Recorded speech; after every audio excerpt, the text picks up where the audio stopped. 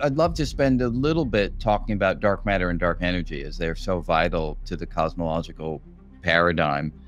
We've been searching for dark matter forever since it was first thought of in what the 1930s by Fritz Zwicky and and Vera Rubin later on.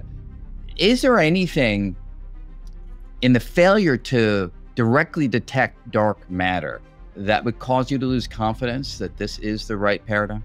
No, in fact, I think the astronomical observations have gotten better and better. And I mentioned that briefly in talking about the microwave background, that we see the imprint of the dark matter in the microwave background and can infer its abundance and its properties um, with real very high precision now. So we know dark matter is there. We can test alternative theories of gravity that don't require dark matter by asking do they fit the microwave background and all the ones we have now don't. We can look at the growth of large scale structure. That's all consistent with dark matter. But unfortunately, all this tells us about the dark matter is it's abundant, it's massive particles, and they don't interact much with photons.